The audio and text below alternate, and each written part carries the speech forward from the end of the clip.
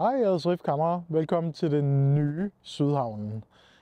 Jeg vil i dag øh, vise jer alle mine favoritsteder herude og, og fortælle jer lidt om, hvorfor jeg har valgt at flytte herud for godt fire år siden. Som I kan se, så står vi nede i min egen havn i den boligblok, hvor jeg bor. Øh, og min båd ligger lige heromme bagved. Vejret er ikke super godt i dag, men jeg tænker, vi kommer igennem det sammen. Jeg bor ude ved noget, der hedder Sømærket i det nye Sydhavn ude på Tejlholmen. Det er et arkitektonisk øh, vidunder i Københavns Havn, og det er med hos alle arkitekter på deres top 10 liste over de flotteste bygninger i København. I og med, at vi har de her badebroer imellem vores bygninger, og vi har så også vores egen havn med udsigt hele vejen ud til Bella Sky. Og udsejling til Københavns Havn og igennem slusen ud til Øresund. Man kan sige, at alle lejlighederne er forholdsvis nye. De er alle sammen bygget i, i øh, 2008. Og grunden til, at jeg valgte at flytte ud, det var, fordi man fik alt det her. Jeg er selv fra København. Jeg er født og opvokset på Frederiksberg med nogle afstikker rundt, men øh, primært ja. Og da jeg fik muligheden for at komme herud og bo, der, der kunne jeg simpelthen ikke afstå det i og med, at man får så meget value for money. Altså, man kan sige, det her med at vågne op herude ved vandet hver dag, kunne ned og gå ud og hoppe ned i vandet, når det er varmt eller koldt, hvis man er vinterbader, det er priceless. Vi har alle mulige små nyopstartede restauranter og kæder, der kommer op herude. Der er mange, der siger, at området er lidt dødt og lang tid om at udvikle sig. Det er rigtigt, det har det været. Da jeg boede herude i 13, der boede jeg over på Sluseholmen, der ligger lige ved siden af på den næste holm. Og der var stort set intet. Der var alt under opbygningen. Vi havde pizzeria, vi havde en sushi, og vi havde en Irma. Det var stort set det. Nu har vi 5-6 supermarkeder, vi har Supermarco, der har åbnet mange af de her kæderestauranter og butikker, så der er ting, man kan lave, og der er mange kulturtilbud herude. Desværre er man også begyndt at rive nogle af alle de gamle kulturtilbud ned, der var herude, i at man har valgt at rive teglværket ned, øhm, som der, hvor der var koncerter eller natklub og, og ja, street food. Og, ja, der var mange gode ting, man kunne der. Øhm, men man tænker vel, at det begynder at blive erstattet med alle de her små tilbud, som Boulders Builder, Builders Boulder, klatrested, som der er åbnet flere steder herude, og der er kommet en rigtig god vibe med, øh, altså der er kommet sådan en lille landsby herude. Der er mange fra Jylland, der flytter til ude fra, ude fra København, der kommer til København. Og de har taget deres kultur med, at man er meget sådan, kommer hinanden ved med, og det er jo meget hyggeligt for os københavnere at være en del af, kan man sige. Det ultimative ved at bo herude på Tejlholmen at have en havn, hvor man bor, det er, at man har mulighed for at have en båd. Altså min båd, der hedder Vejmo, der ligger heromme bagved os, har jeg virkelig haft glæde af at være bo herude. Jeg har stort set brugt den næsten hver anden dag i sommeren. Selv de dage, hvor jeg skulle på arbejde, der er jeg gået ned og taget en aftenstur. Sejlet rundt med naboer og venner, øhm, ja, kollegaer, alt hvad der har kunne støves op, der ville med ud og sejle, de er kommet med. Og så, altså det der med at have muligheden for at kunne gå ned og bruge den som privat altan, hvis det er, man er lidt træt af at være oppe på sin egen altan, og bare brug for lidt fred og sidde et sted og fundere over tingene, eller det med at have friheden med at kunne gå ned på båden, planlægge sin næste opgave, tage sig en kold øl, sidde og nyde solnedgangen, høre noget musik og tale med alle de andre, der er på havnen. Vi har sådan en meget, hvad kan man sige, sammensluttet havnekultur, som der er i alle havne, hvor man altid hilser, hjælper hinanden, ikke står i vejen for hinanden, sørger for at holde havnen pæn og nyder en øl sammen. Og altid, altså, altid kører den gode stil. Vi har rigtig mange paddleboards herude, det kan I ikke se lige nu, men om sommeren, der er det ikke en stor badezone det hele. Fyldt med paddleboards, kajakker, svaner, skaver, måger, ja, der er det hele. Der er folk, der ligger og soler sig her, hvor vi står. Og også inde under badebroerne, der er herinde under vores boliger. Øhm, og det er super hyggeligt. De unge mennesker, de hopper i op fra tagene, og musikken, den buller ud af. Det er ikke alle, der er lige glade for det jo, men som københavner, der er jeg rigtig stolt af det.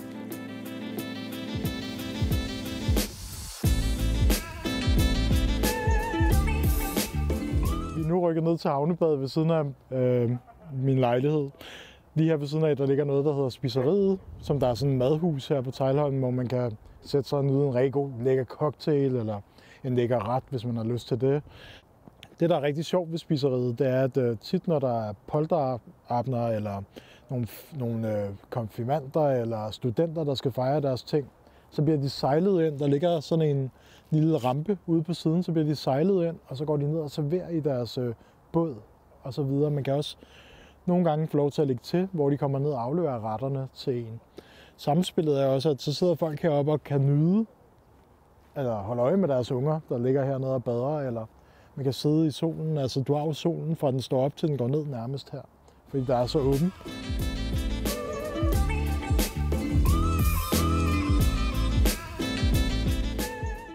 Øhm, man kan sige, at man afskriver mange ting ved at flytte herud, selvom det kun ligger 3 km fra Københavns centrum, i og med at man ikke har den her vibrante byfølelse. Det, det er meget... Det, det er sådan ligesom at, at rykke ud et sted, hvor det, alting er meget stille og roligt og afslappet.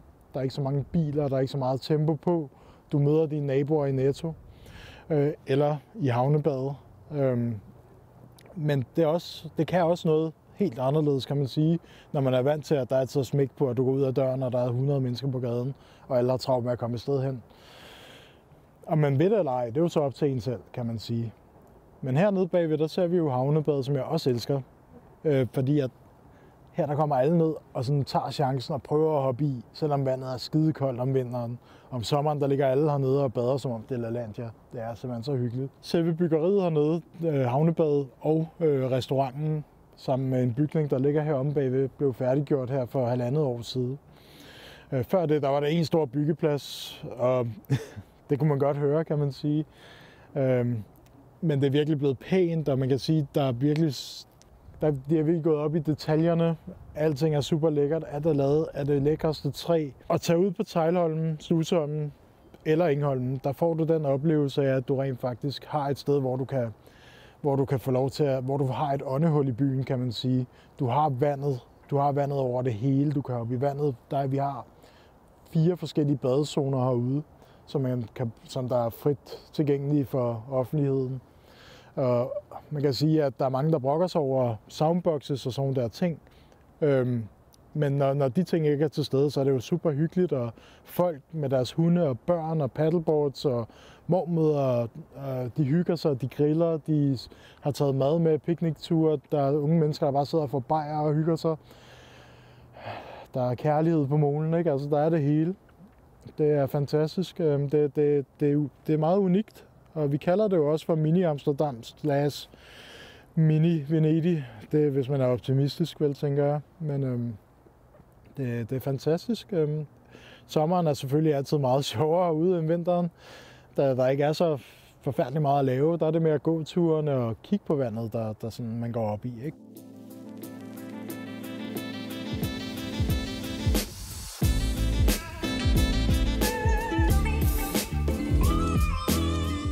Nu rykket videre ud på Tejlholmen over på Magen.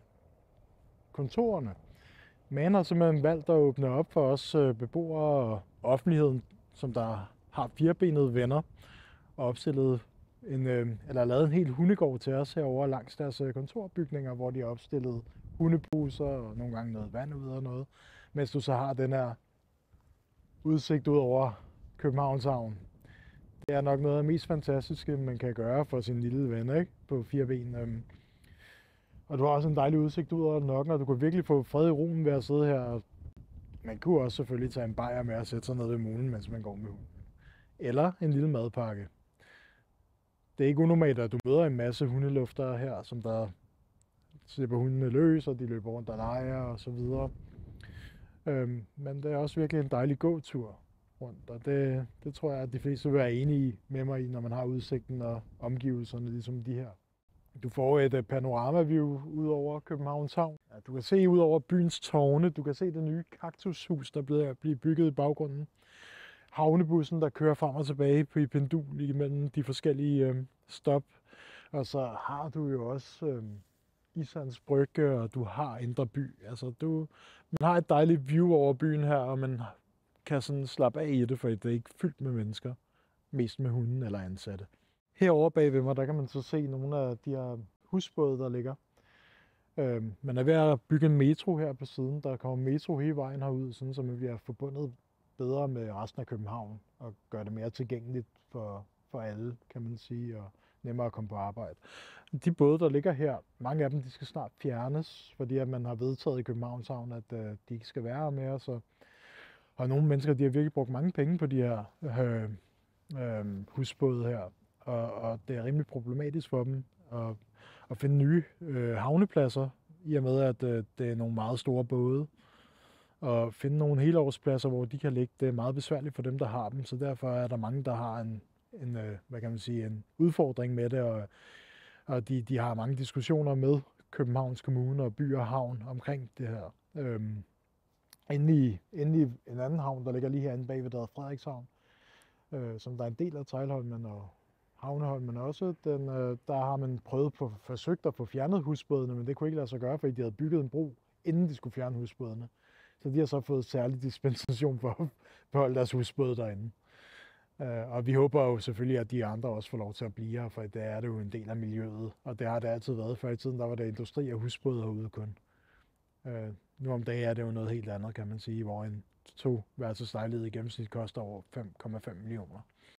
Hundemiljøet herude, det er, det, det er virkelig, altså efter corona, der eksploderede det.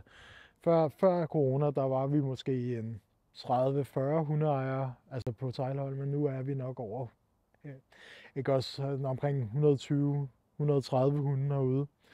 Plus gæster, der kommer udefra, og de andre hunde fra de andre holme, der ligger, som der hedder Sluseholmen og Ingholmen. Og øh, de fleste hunde, de kommer jo rigtig godt ud af det med hinanden, og, og det, det, det er jo altid spændende at, at, at se, at de er, som de rent faktisk kender hinanden, og i og med, at der ikke er så mange ruter herude, så mødes man jo tit med de samme hundelufter, øh, som man så også med tiden bliver venner med jo. Altså sådan hundevenner, hunde, hundefarvenner, hundemorvenner. Øh, og det hygger vi os jo mægtigt med. Som udgangspunkt, der ser jeg det som et sted, hvor jeg kan, hvor, når min dag starter, at jeg kan gå og sådan lige få, få sådan ro i hovedet på vejen, inden jeg skal til at tjekke min telefon og alle de ting der, mens jeg går med hunden, og han får gjort det, han skal, og jeg kan sådan lige få, få grounded lidt. Jeg kan komme ud og se nogle andre ting, kan man sige, end det, der bare lige er at se på de andre bygninger og de andre mennesker. Så kan man gå her og kigge ind over København, se ud over Nokken, se ud over husbådene, mærke lidt noget andet end bare stress og jad op ved busstopstedet, kan man sige. Øhm, og nyde sin morgenkop kaffe.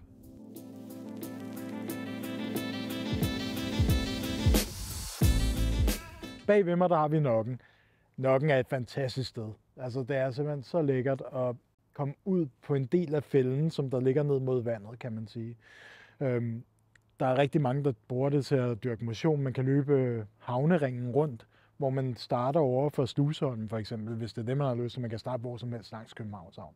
For fra Sluseholmen, der kan du løbe over slusen, som man kan gå på og cykle på, over til Nokken, og løbe langs vandet derovre fra, hele vejen ind til København. Og du kan fortsætte helt ud til den sidste bro, og så tilbage igen. Du kan jo løbe hele vejen langs havnen. Den er fin, var? Er det et lille soveværelse? Nej, det er en sauna. Det er en flydende sauna. Det, vi, har, vi har mange badeforeninger herude. Øh, både vinterbader og sommerbader og noget. Og der er det tit meget normalt, at man har en sauna tilknyttet, ligesom dernede, hvor min båd den ligger.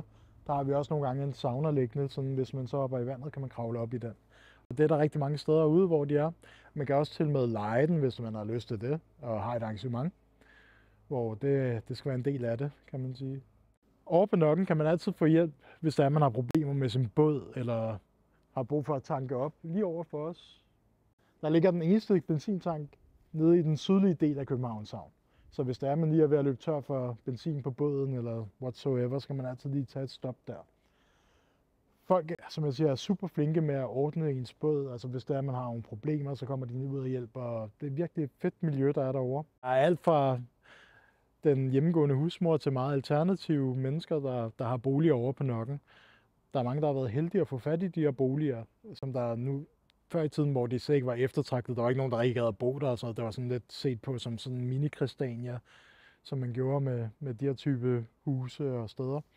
Nu om dagen der er det super, super eftertragtet, og det er nærmest umuligt at få så meget som en, ja, en Airbnb-booking derinde. Man kan jo sige meget om, om det nye Sydhavnen, og man kan nok hurtigt blive enige om, at det, at, at det, det er bare beton og kanaler. det meste af det, hvor kontra hvis du kommer over på Nokken, så har du altså det gamle København, der stadig er i live, udkants København, kan man sige hvor man bor i de her hjemmebyggede huse, og man har den her kultur, hvor alle sammen mødes nede på toget med deres hunde og får en øl og sidder og taler og hører musik og alle de her ting. Nokken er fantastisk. Her der er vi havnebussen. Den, øh, den sidste stoppested derude, det ligger nede ved, øh, ude på Tejlholmen. Og der, der kan man så gå ombord. Øhm, og den stopper jo som sagt hele vejen op igennem havnen. Øh, du kan stoppe fra alt fra Nyhavn til Refaløen, hvilket jeg selv har brugt et par gange, hvis jeg ikke orkede at tage min båd. Øh, så har jeg hoppet ned i havnebussen, sat mig ind i den, ud til Reffen, med solen er skinnet, op og spise, forbi Mikkel og alle de her steder. Og så har jeg bare nyt turen, ikke? Øhm, og den bliver brugt af rigtig mange mennesker, specielt om sommeren. Øh, både folk, der skal på arbejde, men specielt også turister og folk, der synes, det er sjovt at få sig en tur rundt i havnen på den måde.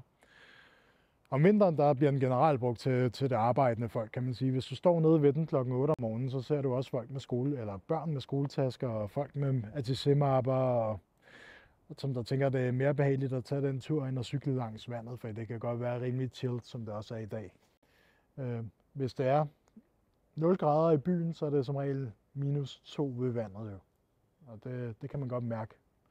Så er der også en chill-faktor med vinden og alle de her ting, og det er jo nok også derfor, at det ikke er det mest eftertragtede sted at være om vinteren for mange folk. Men øhm, det er i hvert fald et besøg værd at være med. Jeg er i hvert fald glad for det. Herom bag ved mig, der kan vi se hos Ørstedsværket. Også en af mine favorit locations herude i Sydhavnen. Grunden til det, det er fordi, at det er så råt og så fedt. Det, du føler, du er med i en filmscene, når du går igennem det. Øhm, du føler, at du er et andet sted. Du føler, at du er i en gammel industritid. Og du får en øh, fornemmelse af alle de, alle de øh, ting, der er kørt igennem. Alle de, de øh, man kan sige, alt det arbejde, der er, blevet, der er blevet puttet i det, og alle de ting.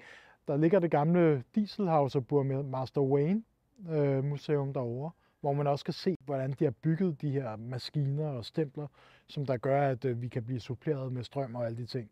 Det bliver meget teknisk og lidt nørdet, men det er klart et visit værd. Hvis man også godt kan lide graffiti, så skal man gå ind og tjekke væggene ud. Der er mange af, af de store københavner graffiti-malere, som der, som der er lagt turen forbi i mørket smuld. Øhm, og, og hvis man godt kan lide at se nogle af de her throw-ups og så videre, så, så er det klart stedet. Man kan også se bag ved mig den muren, der kører rundt om metrobyggeriet. Hvis man følger den hele vejen rundt, så kan man se menneskets evolution, som der også er malet af en flok rigtig dygtige graffiti-malere fra København. Hvor de også har fået haft nogle gæster fra nogle af deres crews.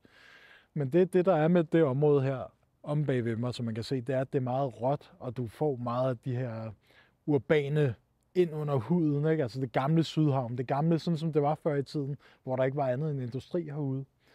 Øhm, og det var rent faktisk ikke et sted, man havde lyst til at komme. Det var, det var sådan, der var mange skumle små forretninger, bikse, øhm, foreninger og værksteder, og der, det var ikke et sted, hvor man kom. Altså, det gjorde man ikke, medmindre man havde et ærne herude, og det var de færreste, der rent faktisk havde det, hvis de ikke arbejdede her.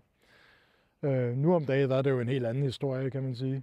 Der er det jo et sted, hvor alle gerne vil ud. Der er stadig de små grønne pletter derovre mellem alt øh, industrien og alle de her øh, rør, der kører med gas og energi og, og vanddepoter til at fylde op, sådan, så tingene ikke brænder af. Så man går sådan lidt rundt i, på en fabrik med grønne områder. Det er simpelthen så exceptionelt som hundelufter. Når jeg går min morgentur i weekenden fra min bolig over til fisketåret, for at få en kop kaffe to go rundt om havneringen.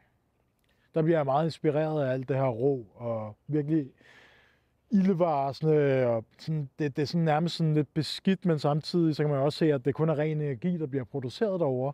Men du får alle de her ting kørende i dig. Åh oh, nej, bor jeg lige ved siden af et kraftværk, ikke?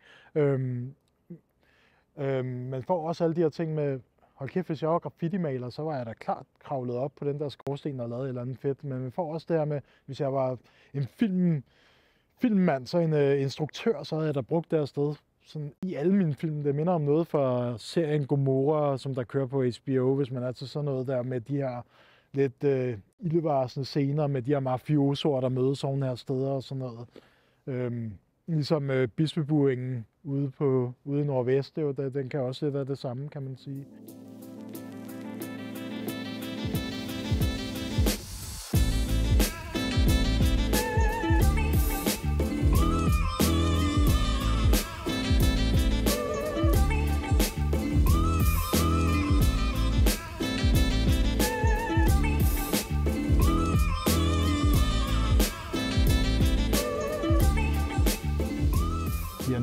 Os over Engholmen til Lyngholmen. Et sted, jeg elsker at være. Det er en del af det, vi kalder for vinruten blandt de lokale, hvor man stopper på spiseriet, går videre ned på supermarkedet, hopper forbi uh, Izumi Sushi, hopper herover på Lyngholmen og stopper på klasse 1 og her på anløbet.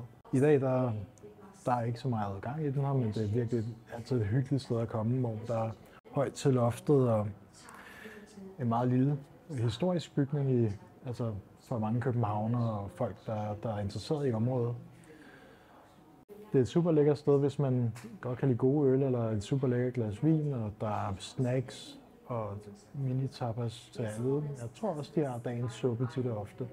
Lige ved siden af, der ligger klasse og lidt sushi og så videre, så der er rig mulighed for, hvis det ikke lige er det her, man har lyst til. Men omgivelserne er suveræne. Historisk set der er det her kendt som druknehuset. Et sted, hvor man pumpede vand og energi videre til Amager tilbage i tiden.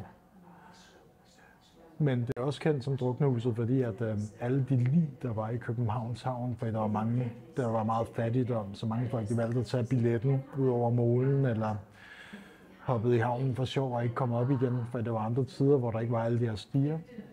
Der brugte man det her hus til at bevare ligene i havn, fra havnen af. Og øh, der går mange historier om, at øh, der er en skak, der går 30 meter ned, hvor der er mange ulykkelige sjæle, der aldrig kommer op igen. Så dem drikker vi også for i dag.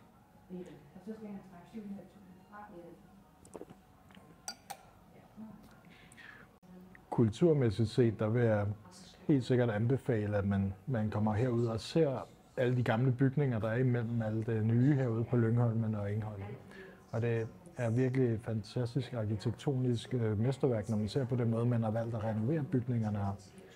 Hvilket jeg selv har en lille bygningsfetish for. Ja, muligvis også derfor, at det betyder rigtig meget for mig som person at komme her.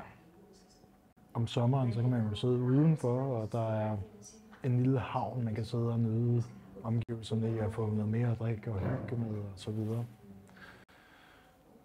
Klart et besøg og anbefalingsværdigt, det vil jeg mene. Tak for i aften, det var fantastisk. Det var så let. Håber, at du får meget